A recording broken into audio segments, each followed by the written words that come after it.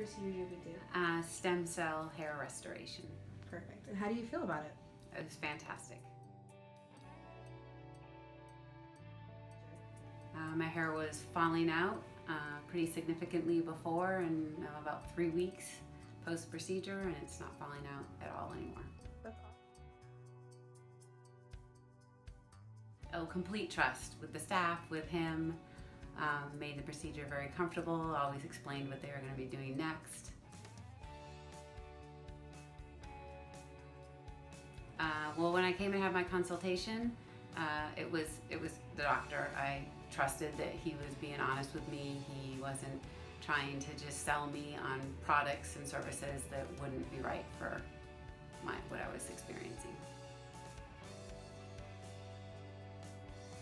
Eight. awesome. Thank you so much. You're very welcome.